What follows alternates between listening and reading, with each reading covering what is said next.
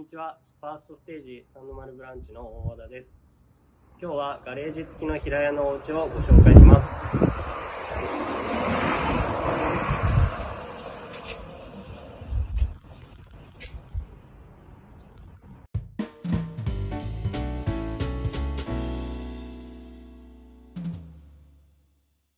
まずは LDK のご案内をします。こちらのお家は LDK が L 字に計画されております。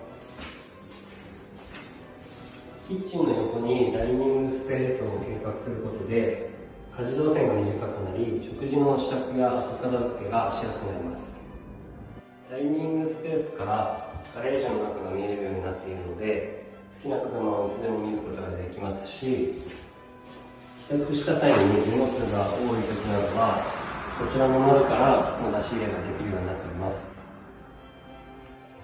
こちらがインナーガレージです。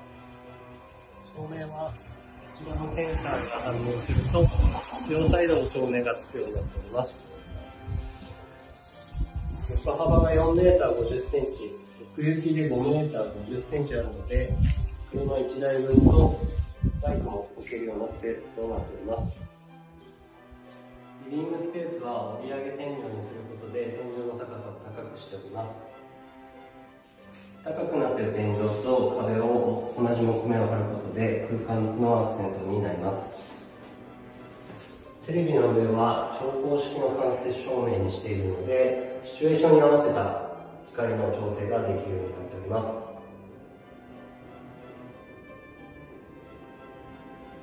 水回りの動線はキッチンに近くしております。こちらの扉から入っていただき、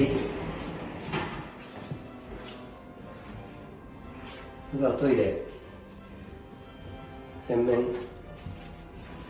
ちらがランドリースペースになっております。で、雑衣室からユニットのまで一直線になっております。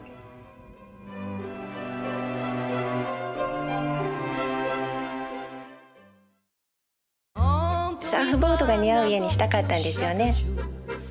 存在感のある家を目指しました設計士と話せば建てたい家になる。